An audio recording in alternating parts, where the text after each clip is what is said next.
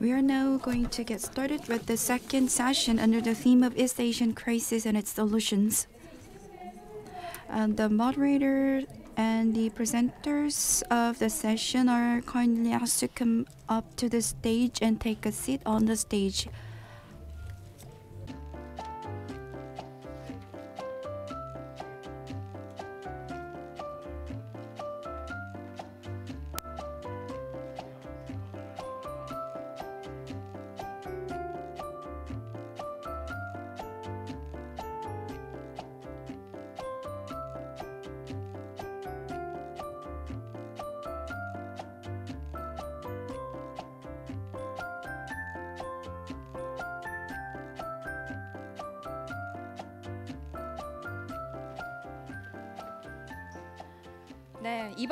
이번 세션은 한국 해양수 입니다. 신냉전 시대 글로벌 공급망의 해법이라는 주제로 발제와 토론을 해주실 예정입니다. So this session is themed uh, with the Asian East Asian crisis and its solutions.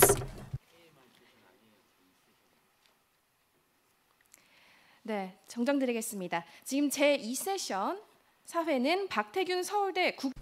The moderator of um, this session is Professor Park Tae-gyun, Professor of Good School of International Studies of Seoul National University, Professor Lee Sam-sung of Hallym University, and Professor Choi Dong-jae uh, of um, the uh, National Chungcheong University.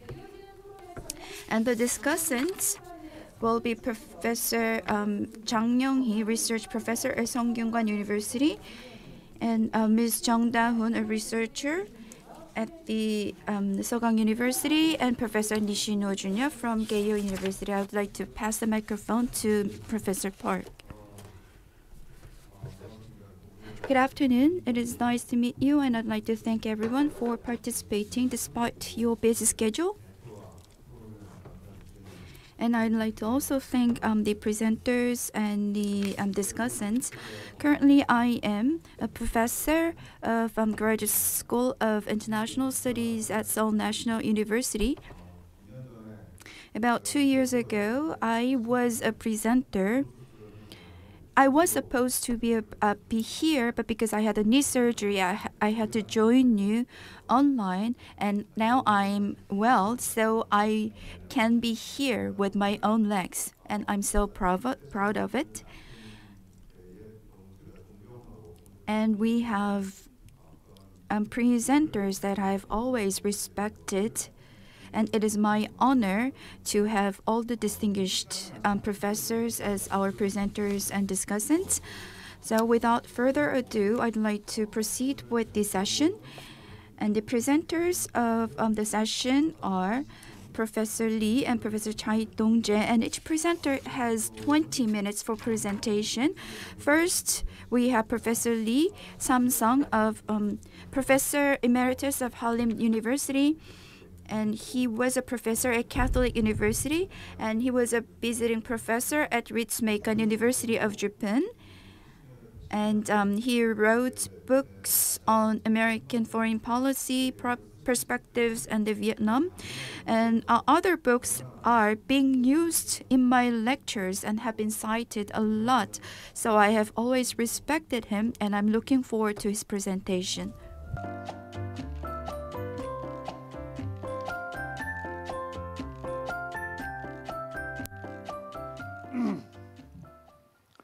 네, 소개받아 Okay, hello everyone. My name is once again Yi Samsung. I am really honored to be part of the second I mean, session of this symposium. And every time I come to Busan, I mean, there's a famous song in Korea that says, I mean, come back to Busan port. Ne- yes, I am back here again, and I'm really delighted. So now that we are starting the second session under the theme of East Asian crisis and its solutions. So where and what kind of solutions I mean do we have to overcome this crisis? This is the main topic I'd like to discuss with you today. Well, here, I mean, I'd like to introduce the Great Division in my presentation today. I mean, this is the term I use quite often. And after the, I mean, post-war world, I mean, the, things have really changed in the East Asia or not? That's a big question I, I mean, posed to for my studies and discussions. How can we explain, I mean, the developments in East Asia in comparison with the developments in Europe and other parts of the world? And to that end, I did a lot of studies and researches. So in this context, uh, this concept, I mean, the great, I mean, division, I believe maybe you already heard, I mean, I explained, I mean, because due to time constraint, I couldn't um, actually contain all the stories and explanations I'd like to share with you in this presentation, but uh, I fully understand that we have a really, I mean, tight schedule, so I'd like to ask for your understanding. Maybe this is just a really simple or, I mean, yeah, general explanation to help you better understand in a broad sense. So, one of the characteristics that I mean differentiate, I mean, in East Asia compared to other parts of the world, I mean, after the Cold War or the World Wars, uh, I mean, but in East Asia, the main pillar of the, I mean, regional relations were the relation between the U.S. and China. So yes, there was a I mean Cold War triggered by the tension between the U.S. and Soviet Union, but what directly affected our daily lives, uh, those are powers, two powers, namely the U.S. and China. So based on their relationships, the countries in the region also had a great influence as well.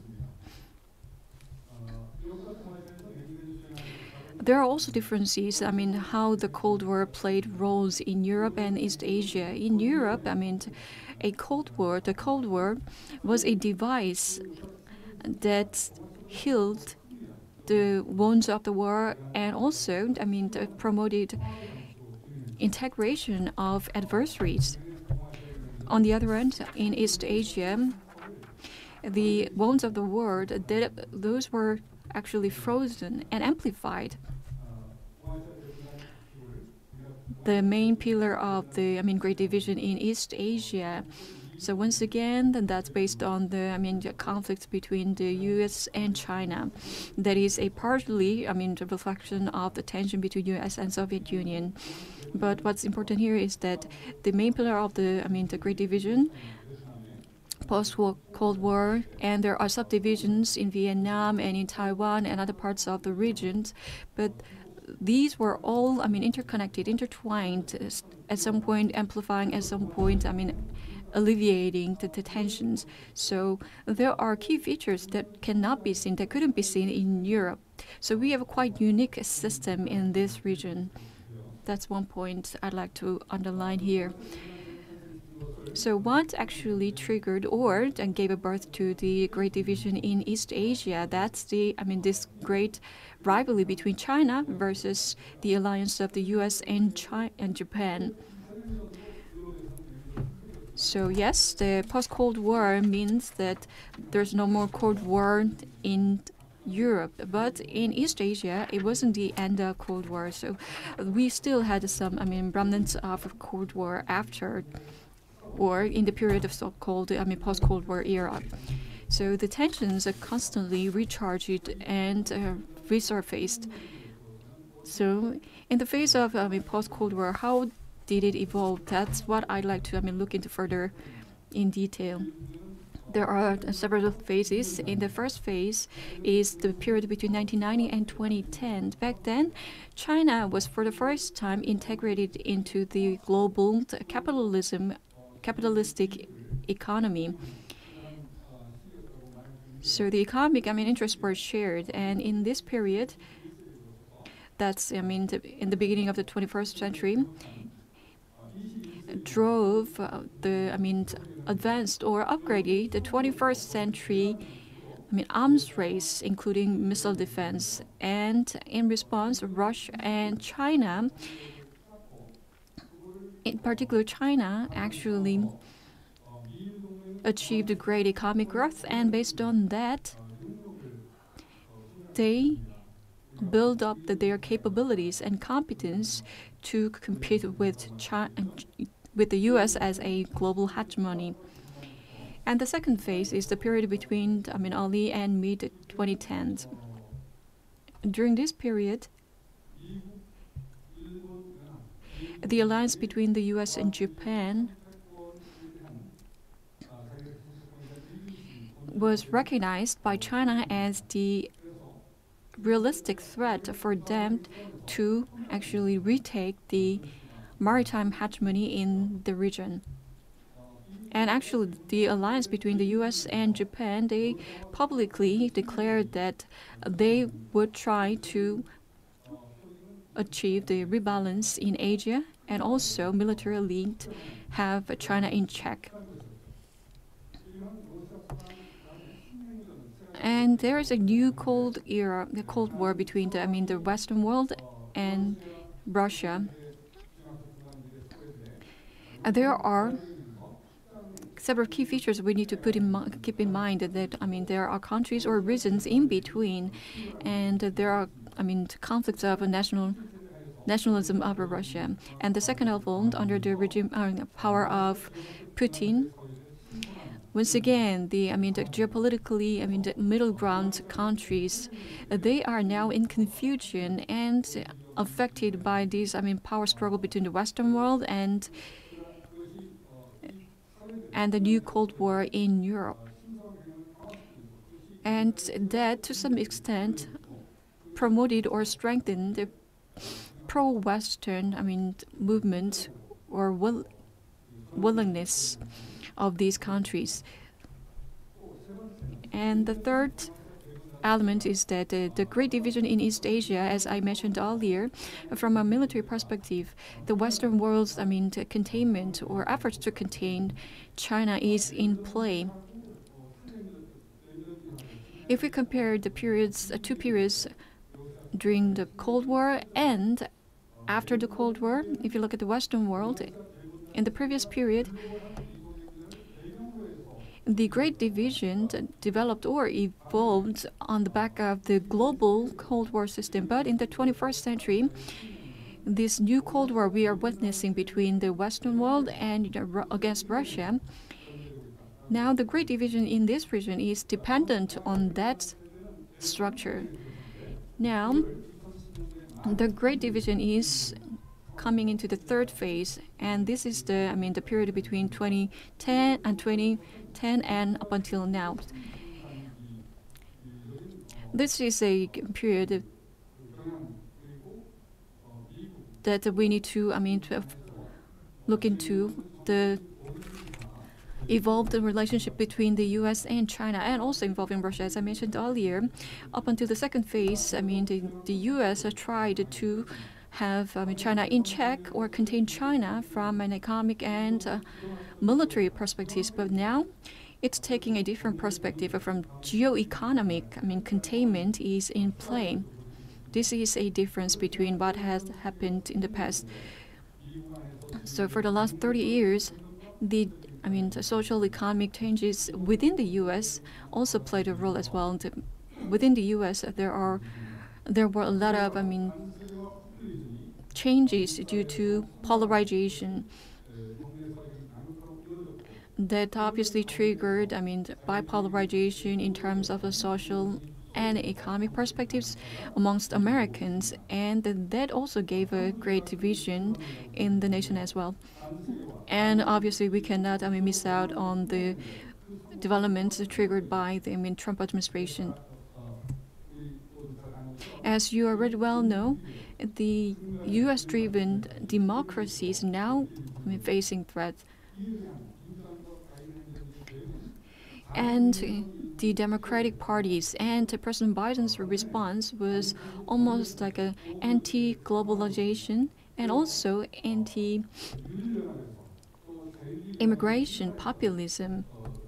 And what's quite surprising is that all those, I mean, actions actually worked for the ruling power to gain support from the public. This is a threatening the very democracy of the nation as well.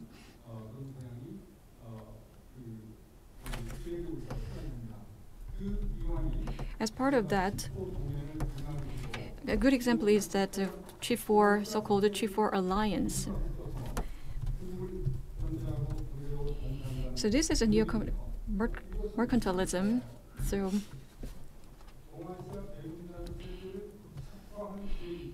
And if there's any plan to, solidify or make uh, the Great Division in the region permanent, this is part of the, I mean, players. And some say the, I mean, Chinese economies now can be called as, I mean, market Leninism combined by, I mean, national capitalism. So now they are now, we are now approaching a stage of a kind of a vicious circle. And this new Cold War is now kind of a symbiosis. So, February this year, Russia invaded Ukraine, and, and that's based on three conditions. First one, I mean, the regressing role of the United States in the global arena. So, yes, to some extent, we feel that U.S. at least, I mean, Biden administration is trying hard to play bigger role in East Asia. But if you look at the, I mean, Afghanistan, the war in Afghanistan, Syria, and the weakened alliance and protectionism of the United States uh, still continued by the Biden administration, all these uh, signal that the big roles played by U.S. is retreating. And also, I mean, in the China, the authoritarianism is strengthening. So, the conflict between the Russia and Ukraine, the key, or maybe the most important element, is that now the Great Division system in East Asia is now intensifying, and the rigidity of the system is once again increasing. So, with the help of I mean China, so GDP in, of Russia in 2022, I mean it's less than one tenth. I mean a little bit lower than that of Korea, but with the support, so without having support from China, Russia wasn't in the past able to actually stand sanctions posed by the Western world. So actually, Russia is dependent on this great division system established in East Asia, and in the past, I mean, by announcing joint statement, there were, I mean, exchanges of the alliance that NATO should not be expanded and etc. So in all these developments, I mean, can be seen both as an opportunity and a crisis to the United States. So once again, the I mean Russia's invasion of Ukraine in this year, and also its annexation of I mean the Crimea. I mean, Russia is obviously maintaining close economic relations with Russia, uh, with China. So there are another three elements that again lead to the I mean decreasing role of the U.S. So there are once again the three.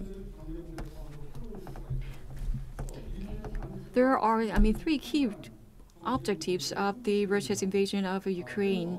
So first of all, to, to actually Block the energy support or provisions between Europe and Russia, and also to raise the level of I mean, economic containment of China, and then also the, to satisfy the political motive to write in out the US's anti-globalism.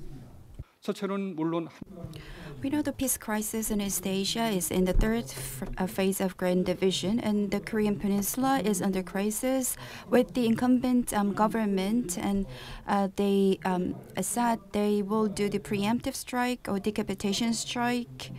And if you if you watch the show from the um, ground wave um, TV stations, uh, we even demonstrated how the decapitation strike will be done. So the joint drill between the U.S. and China uh, was done on the land, sea, and air. And um, to to cope with this, um, North Korea uh, launched um, IRBM and um, SLBM. It also legalized the five conditions of preemptive nuclear strike, and the tension in the Taiwan Strait is escalating as well. And if you go one step further, this year, if you look at East Asia in um, 2022, there are some similarities um, in the situation of Europe right before the First World War.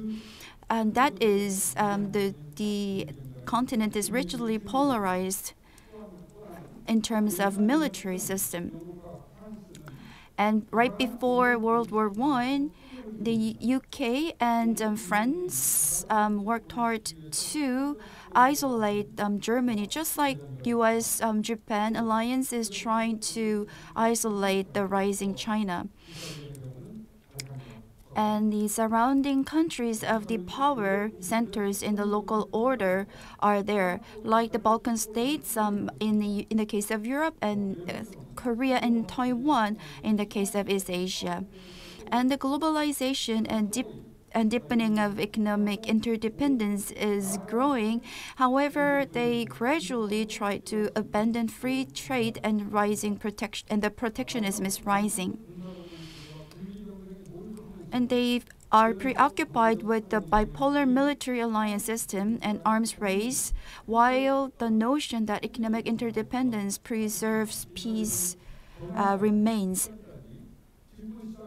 They're still optimistic that the um, peace will still be maintained even right before the um, arms race and military conflict. So there is no sign of any disruption in the peace, even in the stock market. Then, what are the options that East Asian countries can take? We can think of three options. First choice is to take advantage of the existing polarized military alliance system, focus on the arms race and individual economic neo mercantilism. And the uh, vicious cycle of tension in the large division system will continue and the tension in the Taiwan uh, uh, Taiwan Strait and the Korean Peninsula will continue, and the increasing risk. The assumption is that the alliance with the United States can provide long-term military security and the benefits of economic security supply chains. But and the second option is to maintain the current alliance with the US uh, while seeking to expand their qualitative um, armament, including their own nuclear armament. So what's left with us is third option. I think that's the option that we have to take. That is um, in East Asia, including Japan, Korea, Taiwan, and the Philippines and Vietnam. We think of the uh, alternative East Asia uh, to a dream of a vision with um, its visibility. East Asian allies of the United um, States, including Japan and Korea, should maintain a constant military alliance with the US. And uh, it, they should reconcile it with the efforts to pursue common security mechanisms consistent with the overriding universal value of peace in East Asia and the efforts to form an alternative culture that dreams of common security in East, Asia, in which East Asian governments, civil society, academia, and the intellectual community of East Asia value, ensure the value and the vision of balanced diplomacy. We shouldn't uh, be buried um, in the uh, notion that polarized military alliance system is unchangeable we have to maintain a certain distance from that system, objectively evaluate and criticize it. East Asian countries, including Japan and Korea, do, should not stay at the outposts or rear wheels of the alliance. Rather, they should be the steering wheels of the alliance system and um, to actively uh, change the geopolitical vision. Diplomats, academics, journalists, and soldiers are the natural uh, roles of our security and diplomacy, and that should be the view that we should hold. It's a difficult task, but that's the only option that is left with us to begin the to over begin overcoming the grand division in East Asia.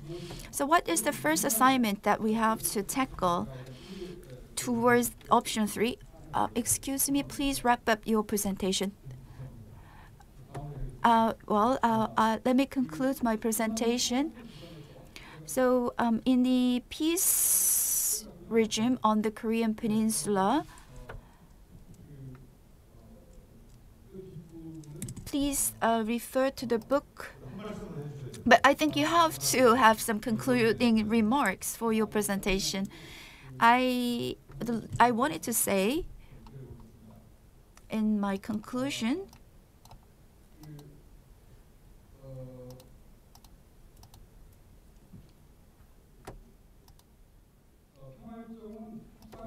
The peace regime or peace treaty is difficult to negotiate, and the U.S. opposes it anyway. So we have to denuclearize North Korea in a different way. Then, the measures for um, security measures against North Korea, or the um, device through which North Korea can safely engage in denuclearization. And if we think uh, we can change North Korea without any uh, measures of this, I think that's a great illusion. And that illusion will um, pressure North Korea for implosion, then I think that will just um, usher in the um, nuclear disaster on the Korean Peninsula. That's what I believe. That concludes my presentation. Thank you for listening. Thank you for your presentation. I'm sorry that I had to stop you in the middle. I think you ran two minutes 35 seconds later.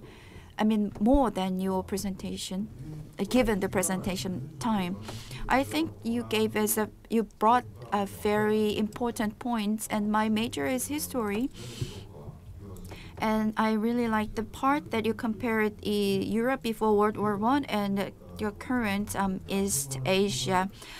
It was a pity that we couldn't um, fully uh, look your um, concluding part. So I'd like to ask you to supplement it in your um, Q&A session. Next presenter is Professor Tsai Tung-Chieh, connected via Zoom from Taiwan. I think he's been waiting for quite some time. Okay, let me briefly introduce him. I mean, Dr. Tsai is now the director of Advanced Research Center for Humanities and uh, Social Science, distinguished professor of Institute of International Politics. So, uh, Dr. Tsai has uh, gotten his PhD degree from Taiwan's National Chengchi University in 1999 and been the visiting scholar in Japan's Okayama University and South Korea's Korea University and Hankuk University. He has been written over, I mean, 15 books. So he's been an active participant in various, I mean, international conferences, both um, home and abroad. So I'd like to invite Dr. Tsai for 20 minutes for his presentation.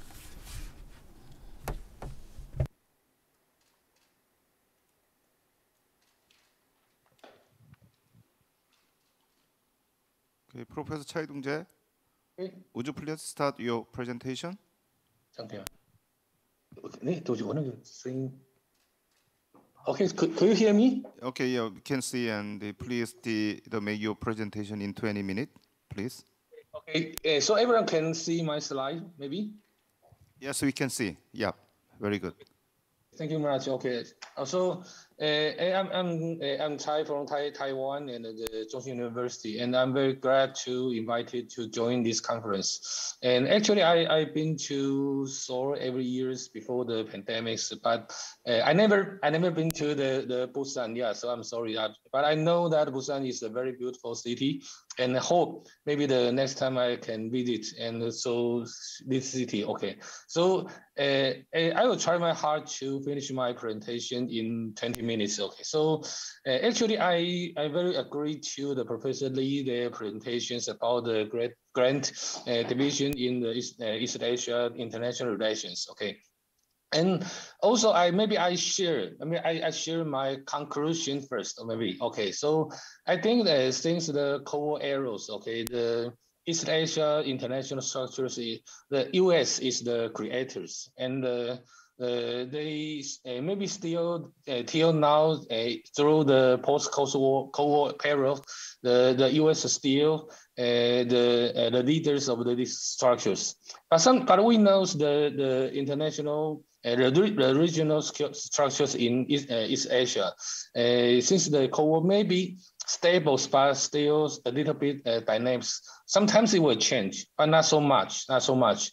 But every time, every time the structures uh, the changes, and they will invite uh, some uh, some different event uh, to more or, or something both we can uh, observe uh, the change of the structures. And I, I and in my presentations, I will take the Taiwan Taiwan Strait the crisis to be an example or the symbol to observe the the uh, the, the, the transformation of the structures. Okay, so and we know that uh, the uh, Taiwan and maybe the Taiwan and the China the closer relations is uh, the same with the two Korea relations. Uh, both the legacy of the Cold Wars. Okay, so because the structures is uh, uh, the U.S. Uh, created a regional structure in East Asia, and so the a lot of the lot of the development in in the, the regional affairs follows the U.S. structures. Okay, uh, strategy. So uh, when uh, can decide decide uh, some things maybe he want to do to and want want to get uh, the the interest in in the regional affairs. So so sometimes the he will invite the, the, the change in in the regionals. Okay. So in so I here I will trace back to the histories to introduction introduce the four times the crisis in the, the Taiwan Strait, okay, between the China and the and the Taiwan's. Maybe everyone knows the uh, the, the China and the Taiwan uh, divided uh, because of the unfinished uh, civil wars uh, since the 1949, and and after that, okay, in my in my definitions, so the, there have been to uh, four times of the crisis. Okay, but but my, my definition a little bit different with the common the traditional definitions. Okay, so according to the the traditional uh, the definitions, the they have uh, three times before, including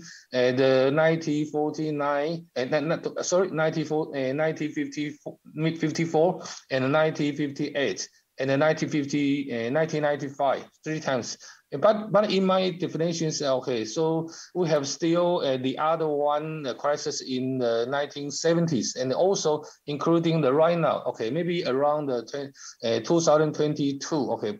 So we uh, have, have four time four times of the crisis in in uh, in the history and the, and including the right now the situations. Okay, so I will uh, maybe introduce very briefly case by case. Okay, so uh, I I try to combine combine the the first uh, the traditional first crisis and the second crisis.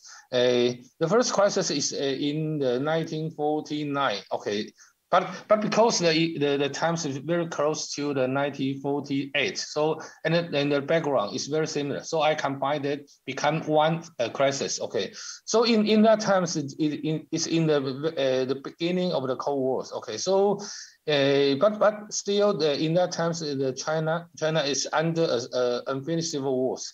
Uh, but we know, according to U.S. Uh, strategy, maybe the, including the global or the regional strategy, actually the U.S. US tried to have a cold war with the, the Soviets, but in East Asia, I, I think in that times, US not just decided how to deal with the China affairs, and maybe one uh, of the choice, uh, the options of the choice is, is, is to ally with the China, I mean the Beijing's, okay. So in 1949, so the, then US released uh, uh, white papers about the China affairs. Uh, actually, actually, we know that US pre prepared, yeah, to have an official relation with the Beijing's. But but uh, but in that times, uh, the surprise uh, is the Korea Wars. Okay, so in 19, in 1950s, okay, the Korea War is surprise to U.S. strategy. Okay, because especially because the Beijing joined uh, the, the, these wars. Okay, so because the, the Beijing joined this war and they become the enemy, in the battlefield with the U.S. So uh, it means the U.S. Uh, could not. It's, it's impossible for U.S. to uh, have an official relationship with the Beijing uh, immediately. Okay, so for for U.S. it's the puzzles. Okay, or the dilemmas how to deal with the the re relation with Beijing. Yeah, before and after the the Korea War. So so in that times in in the 1940, 1955, the the U.S.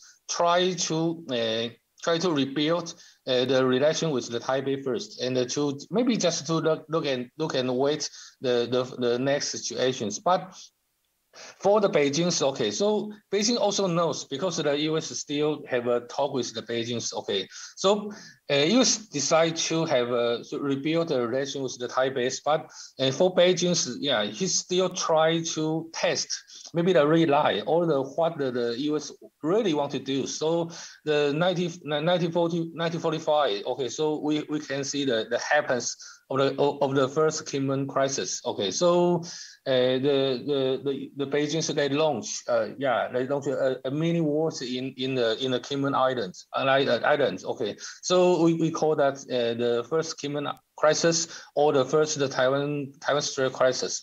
It's it's a very short times. Okay, so after that, uh, after that, so we can see that it's the first uh, first Taiwan Strait crisis. Okay, so I thought it uh, it not stay, not continue so so long times, uh, just maybe just a couple months, and after that, after that, in in 1955, okay, so uh, the the the U.S. Uh, try have a two hand yeah uh, policies. Okay, so in one hand, yes, uh, the the U.S. U.S. still maintains the official relation with Taipei, and the other hands, okay, so they reopen uh, talks in Warsaw in uh, European Europe uh, with the Beijing's. Okay, so they actually we, we can we can find that so, so the U.S.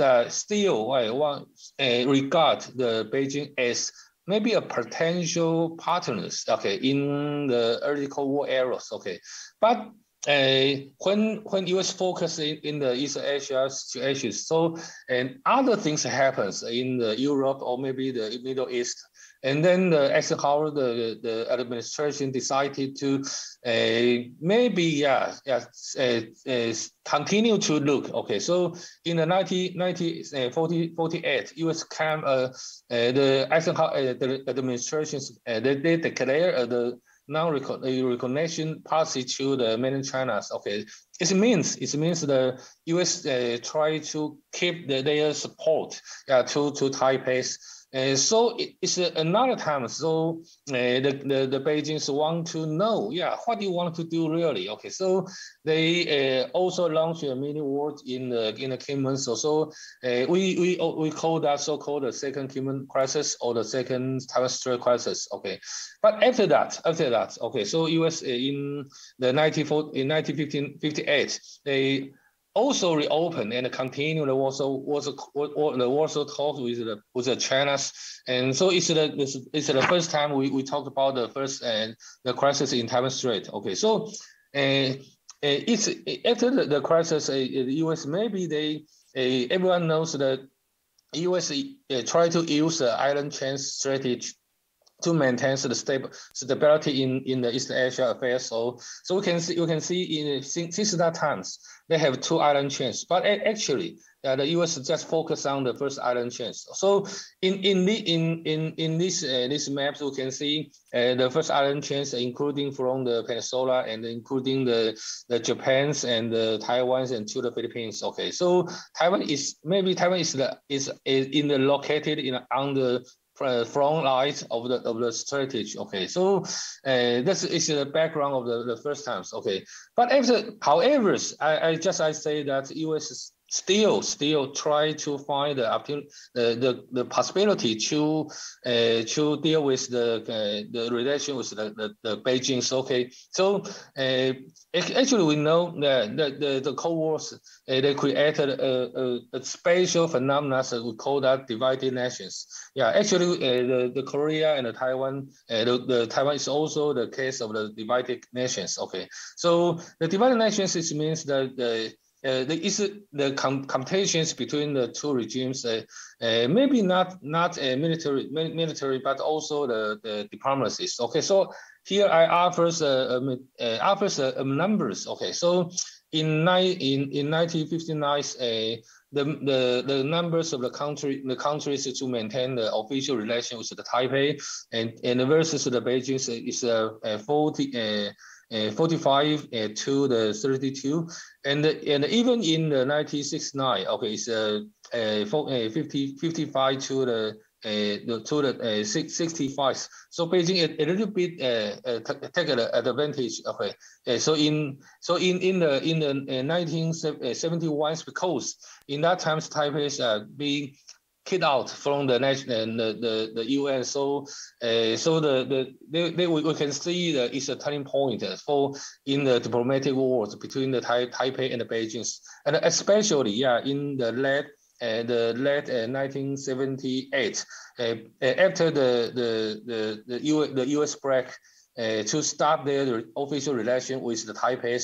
So we find uh, a totally failure. Okay, so for, for Taipei, in the 1979, the Taiwan only uh, keep the 22, 22 countries with, with the official relations with Taipei. Okay, and, and the, the, the, countries uh, with the, the uh, have relation with the Beijing is over 100. Okay, now the but the, the more important is the the backgrounds. Okay, so in that time, so we, we know that the the Cold War is a little bit uh, changed. Okay, so uh, U.S. and the Soviet uh, they they begin to have a, a arms control talk since the 19, uh, 1969. Okay, so they have a SALT one and a SALT two. We know, we know that. Okay, so because the U.S. try to change okay, or or to to uh, adjust their, their strategy in uh, with the Soviet, and then they, they maybe uh, just just as we know is called the the Nixon doctrines. Okay, they want to use the negotiations replace okay the to to fight the, the direct the directly. Okay, so uh, because the the U.S. try to change its strategy. Okay, so this means that they they they more they more want okay the the China can stand stand with the the U.S. They call that so so called the Beijing card. Okay, so when when U.S. Uh, try to use the Beijing card in in in their uh, interaction with the Soviets. So uh, that's why that's why the the they uh, the, the Taipei or the Taiwan may may may become a, a sacrifice. So we, we know the the 1971 the we, uh, the U.S. General, uh, General Assembly they they, pass uh, resolutions and they, they want to choose the Thai, the China uh, replace the, Thai, the Taiwan and next year next year uh, President President Nixon they they visit Beijing and head and uh, and meet with the Mao Zedong so so, so uh, suddenly the, maybe some something changed okay so and after that after that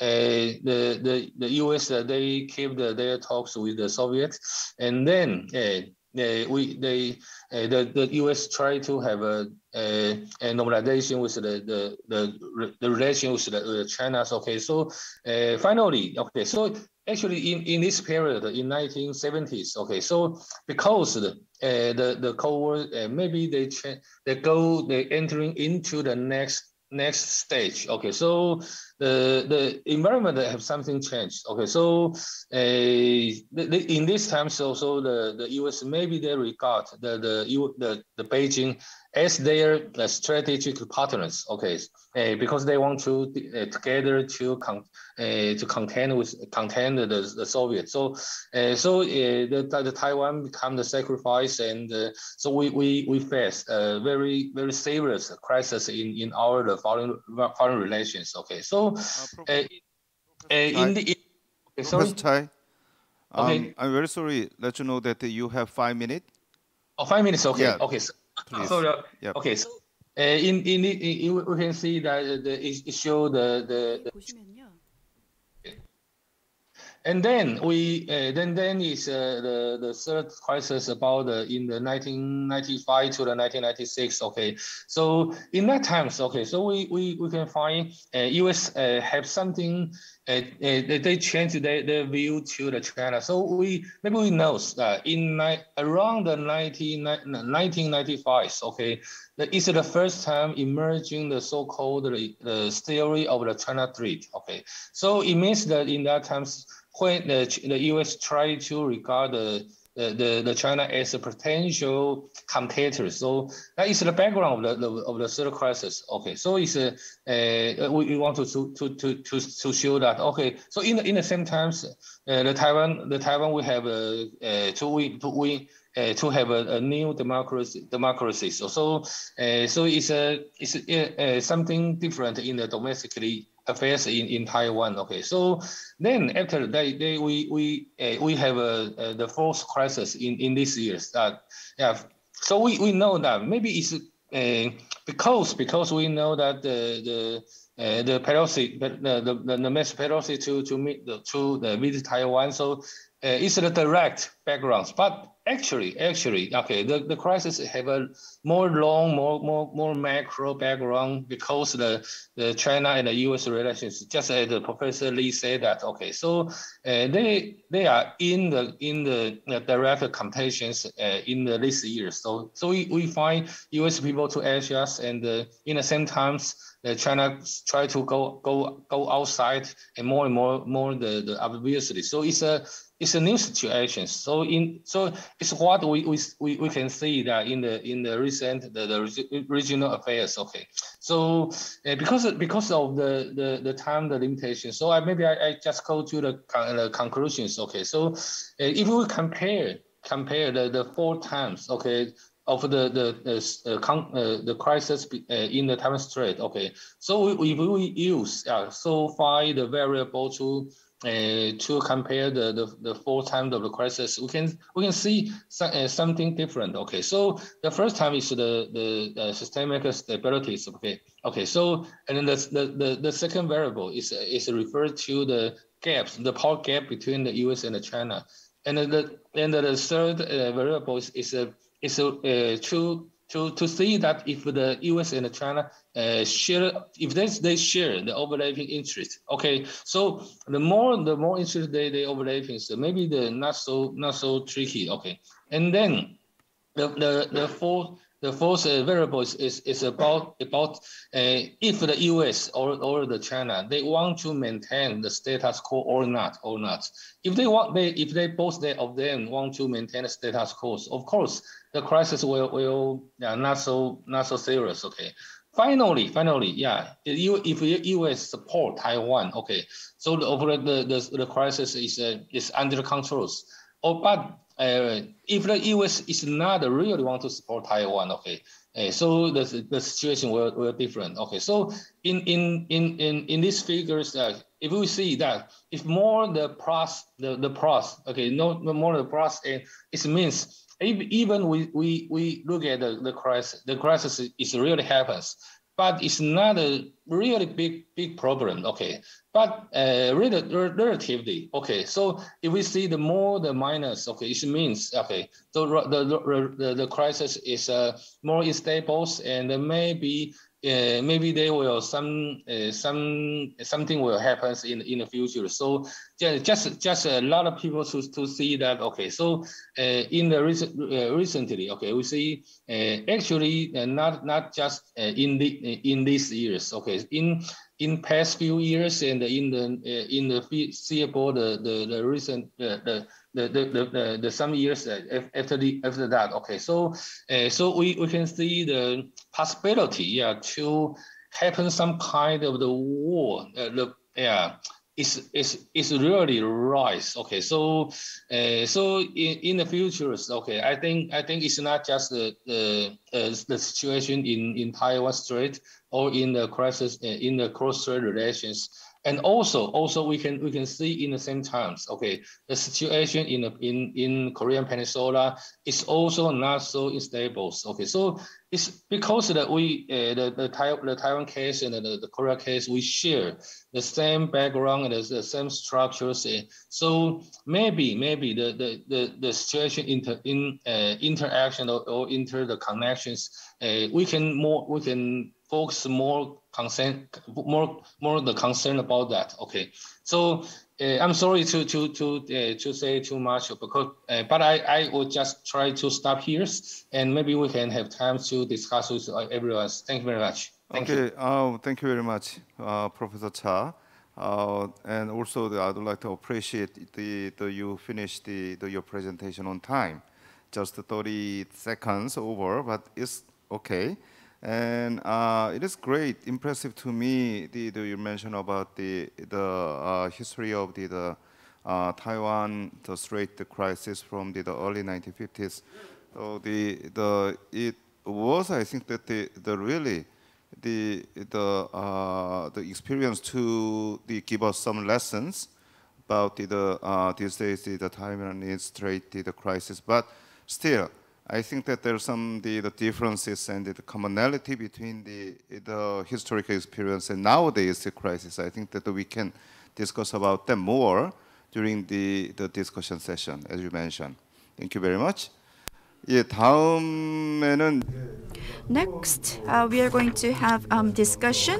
Our first um, discussant will be Professor Zhang Young-hee, uh, research professor at Sungkyunkwan Institute for China Studies at Sungkyunkwan University. I think um, his research institute uh, comes up with the latest and most accurate news on China. And Sungkyun China Brief I use a lot and he is now um, chief um, editor of the magazine. So I'm really looking forward to his discussion. He had authored some books and papers, and currently he uh, wrote an article on U.S. China strategic competition and changes in cross strait relations. Okay, five minutes, I got it. Thank you very much. Well, well, I really appreciate the interesting presentation by, I mean, Lee Sam-sung and Professor Chai Dong-jae. So let me briefly share my, I mean, opinions on those issues. Well, regarding the Taiwan Strait and the Korean Peninsula, the current, I mean, situation. What are the commonalities? I believe that both lost the channel for communication or dialogue. So the, I mean, loss of communication. That is the commonality and yes those are mainly because of the i mean authoritarian authoritarian structure in play. For example i mean that china is not willing to have i mean talks or discuss with the i mean the current uh, taiwan government. And first of all, the, what I mean, Professor Sam-sung Lee said it that yes, he highlighted the importance of I mean peace treaty or peace agreement but it's by no means i mean easy. That's what he mentioned. So yes because it is difficult i mean that doesn't mean that we should give up. I mean it's difficult but still we need to work on achieving i mean peace agreement in the near future. And this is i mean once again common challenge and yes i mean kind of a homework for both regions for i mean korean peninsula and taiwan strait issues. So i mean obviously there's I mean researcher Richard Bush. I mean one of the I mean the renowned researchers around the world. I mean one for me as well. So when and he wrote a book last year. I mean difficult choices. Maybe you already know. So uh, he is a kind of an expert. I mean, studying this, I mean, Taiwan issue for over three and four decades. He gave a lot of recommendations and insights. And on in that book, what he, I mean, recommended is that. Well, the U.S. is obviously working for their own interest. That's the cruel reality. We should acknowledge it. So, if Taiwan overly depends on I mean, the U.S., it will not certainly help. So Taiwan should look for measures by themselves. So I think uh, this is in line with what I mean. Uh, Professor Lee Sam-sung said that we should actually strike a peace agreement between the I mean the struggling powers. So what uh, Dr. Tsai said is that I mean there have been four crises in the I mean Taiwan Strait, and on the basis that there are the struggle between U.S. and China. Yes, maybe it's already well known, but still very important to highlight. So, I mean, uh, just last week, I mean, President Xi Jinping now secured his third term. So, and there was a, I mean, really important statement he made that he will certainly make, I mean, Taiwan reunified with Beijing, even if necessary by force. So, President Xi once again showed his very hawkish, I mean, stance in terms of the I mean the issues surrounding Taiwan. So against this backdrop, I think it's really important for Taiwan to secure really good and active channel for communication and dialogue because I do not have a lot of time given for my I mean discussion. So I mean there are key two messages what I had in mind. The first one is that on the Korean Peninsula I mean, being it, uh, I mean, Taiwan Strait, where, being where it is, I mean, if there is a kind of, I mean, conflict of military forces, yes, at one point, I mean, there may be some, I mean, national interest we may lose, but that shouldn't be the only focus we have. There may be tremendous, I mean, ripple effects in terms of social, economic, and international perspectives. So we shouldn't be solely focused on sovereignty, I mean, perspectives. So in China, when they see the Taiwan issue, yes, they think this is solely their sovereignty issue. So nobody else should actually tell them what to do. But I mean, President Xi Jinping, I mean, as he highlighted several times that, that the humanity is one, I mean, big community. We are one, so what happens between China and Taiwan will certainly have implications on other parts of the world. And I mean, this may lead to also the Third World War, even a nuclear war. So nobody wants to that happen. So just keeping that in mind, we should actually look for the future direction. Thank you. Okay. Thank you for um, keeping your time of five minutes. So you made some comments as well as some questions to the two presenters. And Professor Lee Sam-sung said uh, it may sound idealistic, but that's the only option that we have. Although um, it may be difficult, but that's the path that we have to take. And I uh, included that similar thing in my column that's going to be published tomorrow. So, so that was our dilemma. And I'd like to um, invite our second discussant, and she is a research fellow at the Institute of Social Science at Sogang University. She is well known for her books, um, international.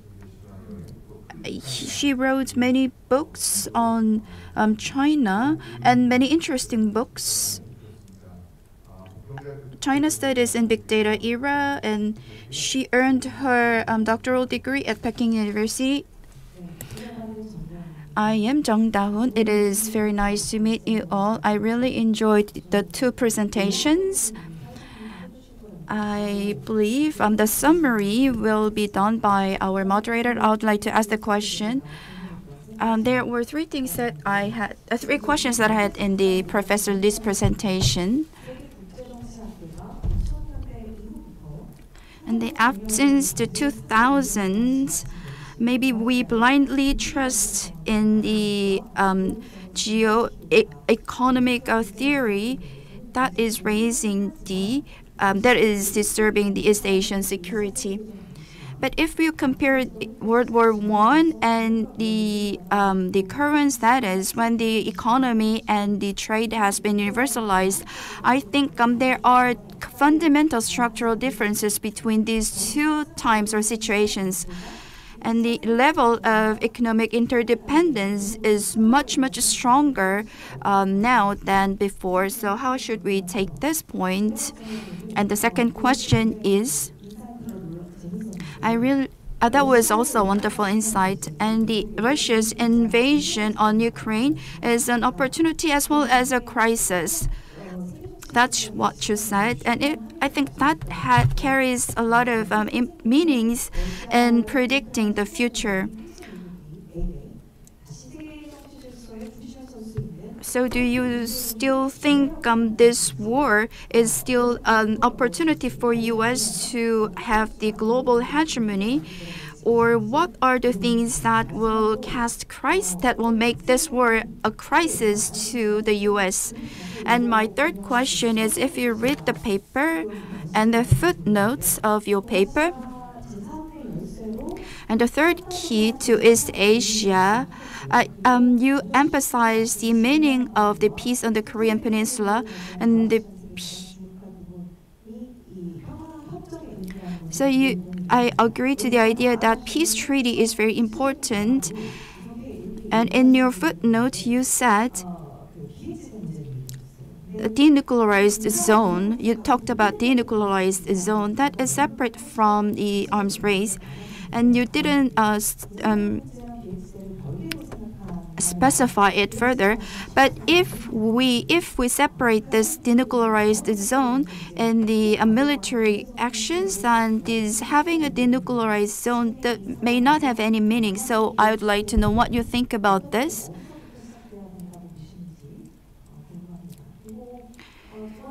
And for the second presentation by Professor Chai, well, I have only one question about your presentation. And the U.S. Um, defines China as the largest competitor, but um, the U.S. does not. Uh, it's not sure if um, the U.S. is defining the China as the biggest threat to um, its threat to the world, like it does with Iran or um, oth- uh, other countries. How should we deal with um, the crisis and cross strait um, cri- uh, area?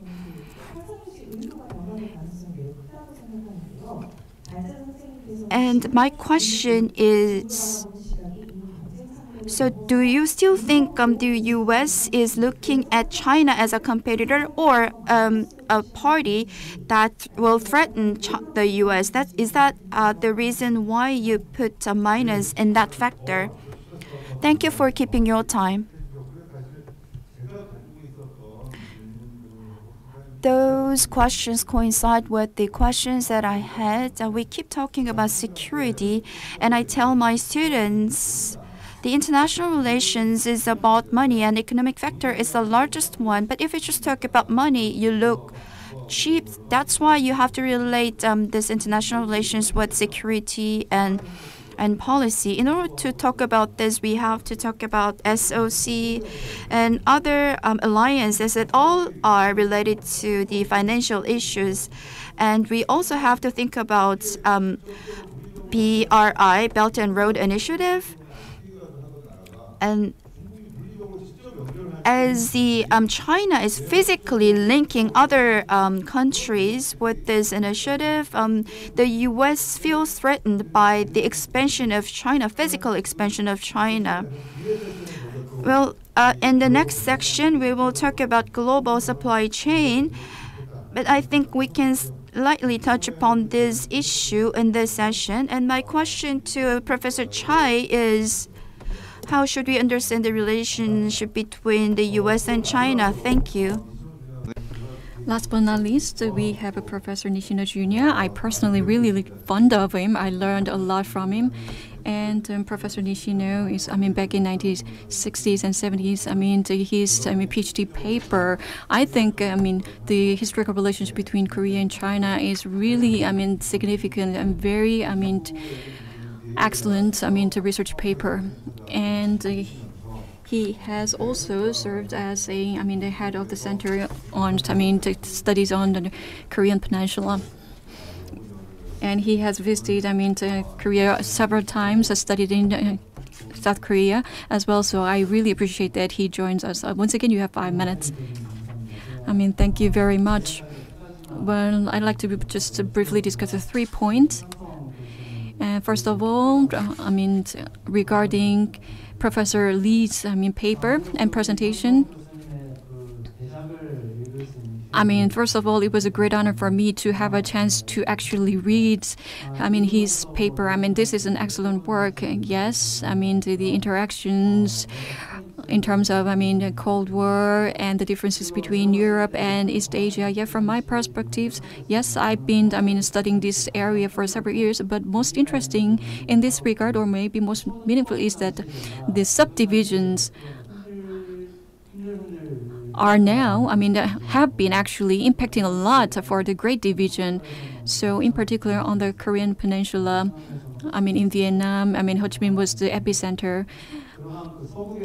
So these, I mean, the subdivisions in East Asia, I mean, they these served as something that actually rattled the great powers. I mean, the, namely the U.S. and China, and sometimes in Russia as well. So from that perspectives, when I read, I mean, uh, Professor Lee's paper, so I think uh, maybe it's also helpful to keep something in mind. For example, I mean, those small countries are no longer small countries. I mean, maybe you already, I mean, know that Korea is no longer a small country. I mean, not small power country, and Taiwan as well is now recognized as a really mature democracy. I mean, Vietnam is not seen as they are before. I mean, they are also growing very fast. So those stances are now changed compared to, I mean, past. So maybe in the past they were considered as really small countries in the region, but now they are no longer small countries. So they are now big parties, actors.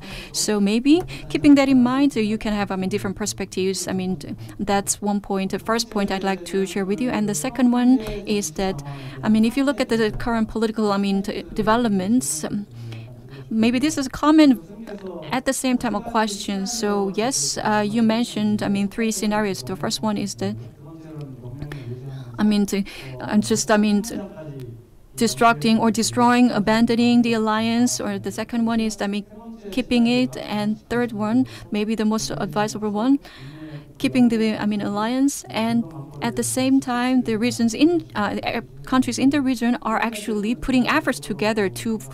I mean, actually form a bigger alliance, maybe, I mean, more solid one. So, but if you look at the current situation, in China, I mean, if you look at Japan and Korea, Yes, I mean they are. They seem like something in between between the second and third. So they are not officially. I mean, raising their armed forces, but they are kind of. I mean, having concerns. I mean, which one should we choose? I mean, can we just maintain this status quo? Is it really right way to go, or should we beef up our I mean military forces and try to enhance our influences. So there are a lot of, I mean, very complex, realistic, I mean, concerns for these, I mean, countries involved in the region. Or from a long-term perspective, yes, in the long-term perspectives, it's the right way to pursue the third scenario. But maybe short-term perspectives, maybe something in between should be the, I mean, road. I'd like to, I mean, hear more from, I mean, Professor And the third point is that, I mean, yes, he talked about the peace regime on the Korean Peninsula. I mean, as one of the scholars, I have a great interest in that issue as well. And in the previous Moon Jae-in administration, the peace process was, I mean, yeah, I feel very unfortunate that it didn't really succeed. But if you, when I read your paper, uh, yes, I mean, taking the initiative to actually have a peace treaty. Maybe there were some, I mean, mistakes made by the previous Moon Jae-in administration. Yes, to some extent, I agree with you. But this peace treaty should be the starting point for this new peace order. Yes, I agree with you in principle, but on the on the other hand, such efforts. I mean, there have been a lot of, I mean, attempts and I mean efforts back in 2005. I mean, there were joint declarations and roadmaps were introduced there were a lot of, I mean, several attempts, but at the end of the day, it didn't work. I mean, the North Korea walked away or turned their back against these, I mean, efforts to actually bear fruits in terms of I mean, peace treaty. So it was really difficult to get North Korea, I mean, go till the end of the, I mean, journey. So from what I see, maybe that is the reason why this is still too idealistic. But and if you look at the current or recent behaviors of North Korea, maybe it's really difficult for us to have that dream, I mean, materialize in the near future. And at this point in particular, maybe the response of South Korea maybe too lax, too unresponsive. I mean, to some extent, that's how I feel. Maybe that is the reason why the current, I mean, Yoon administration, yes, it's conservative, I mean, stance, um, but he said, well, I have audacious initiative, but what is it exactly? I mean, how are you going to actually pursue it? I mean, there should be kind of a good mixture between progressive approach and conservative approach. Of course, it's really not easy, but it should be the balanced approach. I mean, step by step, gradual approach. That's uh, I personally feel, at least I mean on the Korean Peninsula. And we should have a clear roadmap, a correct one. There should be the I mean the right, I mean guidance for us. Okay, I think I used one minute and ten minutes more than given. Sorry about that. Do we have any questions from the floor? If you have questions, we have papers ready for you. Please write them down and uh, hand it over to our staff. we will collect them. Okay, we will take a couple of moments to take, I mean, answers from, I mean, two presenters. First, uh, Professor Lee and uh, Professor Tsai. One minute each. Okay. Thank you for your um, points and discussions. I'd like to answer the questions um, uh, raised by Professor Junya, Nishino Junya. If you asked about the phased approach, and I am not dividing. Um, I'm not. I, I'm against the idea of um, dividing the approaches into phased approaches or um, all at once approach. But we have to uh, develop a methodology that uh, takes a dual track. And when the uh, the six-partite um, joint declaration uh, failed, and that uh, you said it it was failed because um, North Korea walked away. But I have a slightly different different idea. In 2005, um, in, the Septem- in September, the Bush administration's uh, uh, State Secretary uh, Rice uh, pushed ahead with um, this uh, joint declaration. And the defense um, secretary and the the Bush, the President Bush, also agreed to that uh, to that idea, and their intention was to melt um, North Korea. So this blanket approach and the phased approach, I mean, they, they thought the blanket approach was the uh, the, the the answer to change uh, North Korea, and uh, and even before the, the uh, right after the joint declaration was signed, Banco Delta Asia uh, crisis erupted. Uh, on be, citing that as a reason, the U.S. launched a sanction against North Korea. And um, in 2001, uh, Colin Powell uh, said in the U.S. document,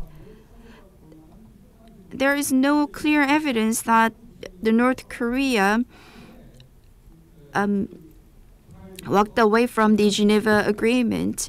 And right after that, the U.S. said the Geneva Agreement still holds um, a meaning. And then right after that, it was officially um, discarded. So there were inconsist there was inconsistency in uh, the Bush administration. So I'd like to ask Professor Tsai for the, uh, to answer, and then I will get back to you later.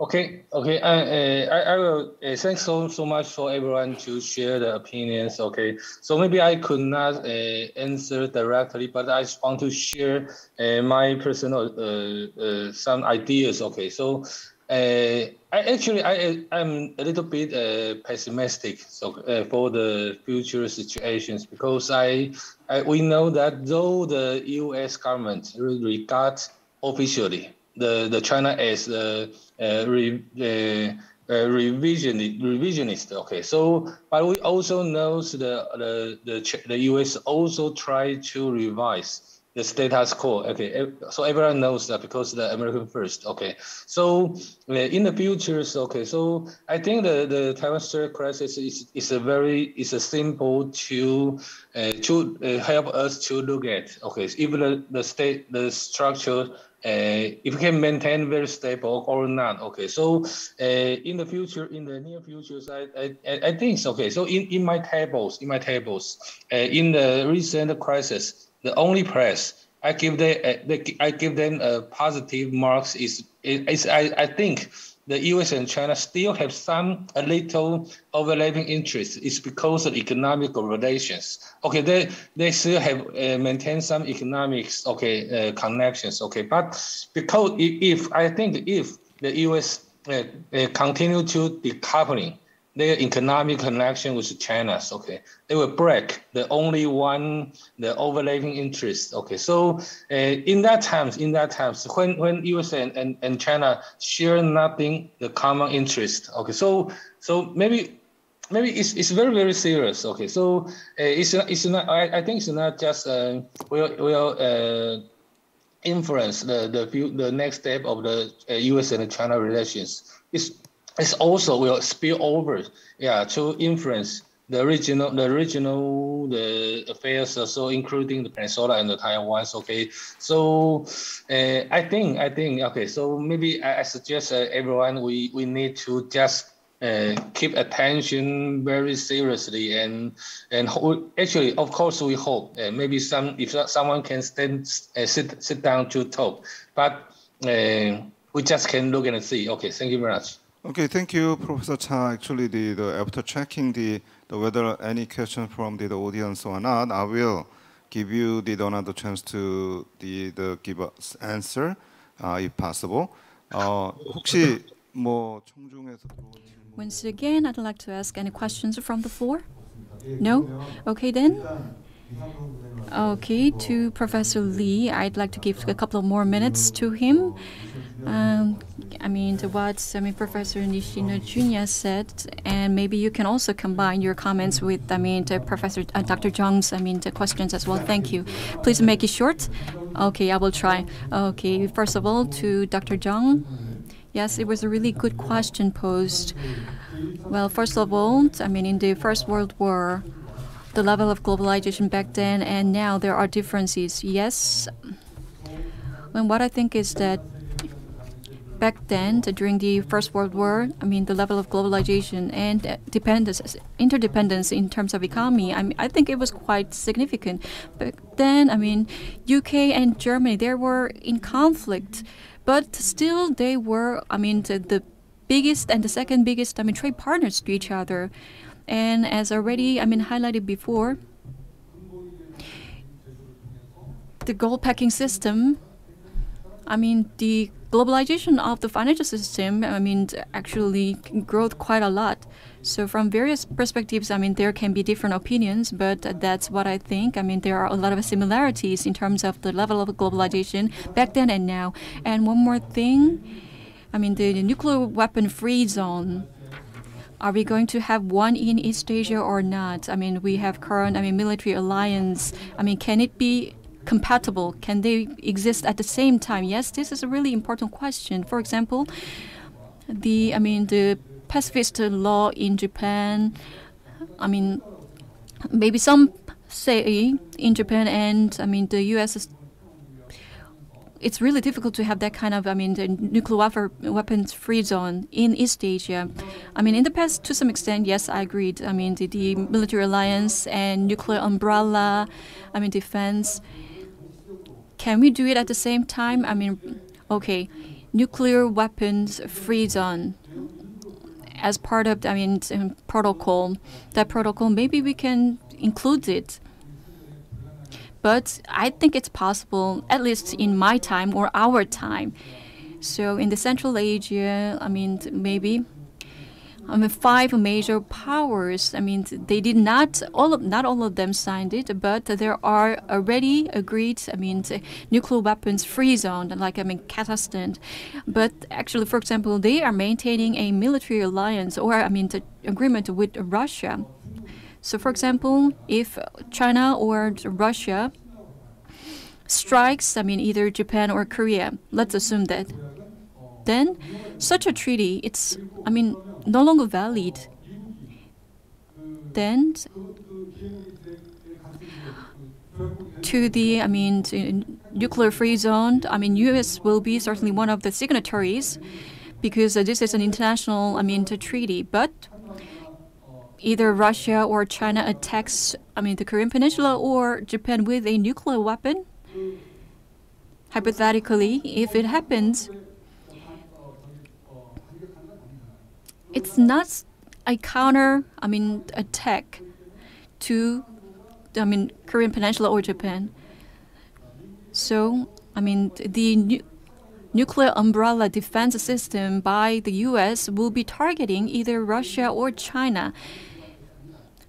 So, I believe it's compatible. I mean, it can be coexistent having the I mean the military alliance and a nuclear weapons free zone in, in East Asia. And one more thing. Well, once again, we are running out of time, Professor. I'm sorry to interrupt you in the middle. You have 10 seconds. Thank you. Okay, one more thing I'd like to add is that, like, I mean, Dr. Da-hoon Chung said it, this is related to that. The peace treaty I mentioned there are two types of it in the I mean human history. In I mean the 1951 San Francisco Treaty or the 73 in Vietnam Paris Agreement, uh, Paris Peace Agreement, and 1919. I mean wrapping up the first I mean the World War Versailles I mean peace treaty agreement. So all these were after a war, kind of I mean I mean result of the war. It's a kind of I mean, kind of I mean payment receipt we get after the war. And at the same time, I mean, today, if you look at it um, now,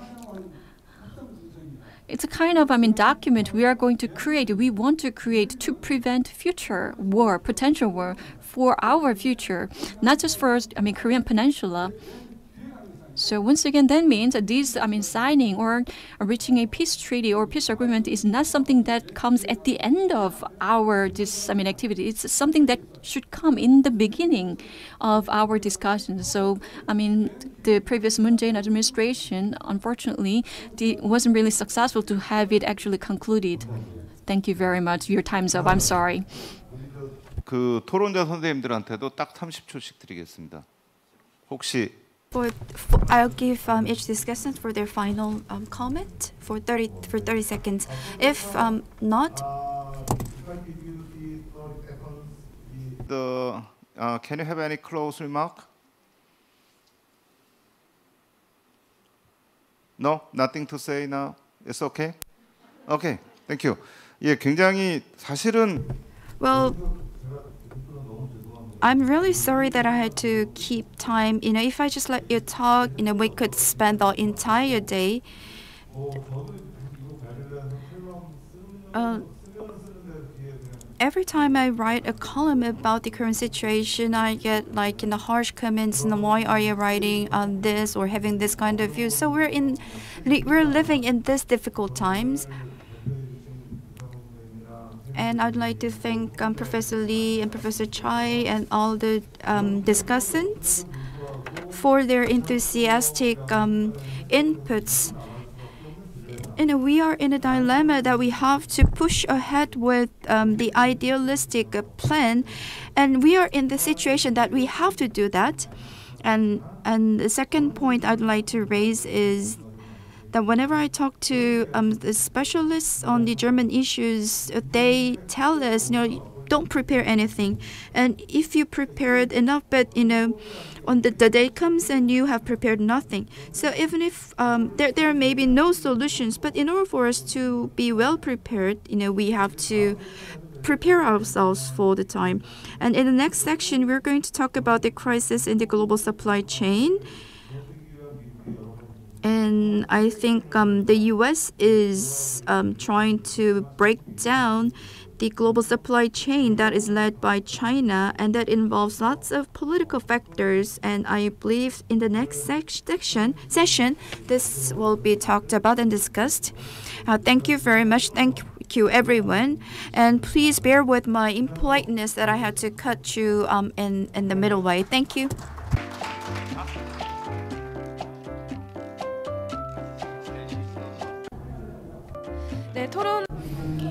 Thank you for the discussions. I mean, it was really, I mean, interesting, heated discussion. Once again, please give a big hand to the presenters and discussants.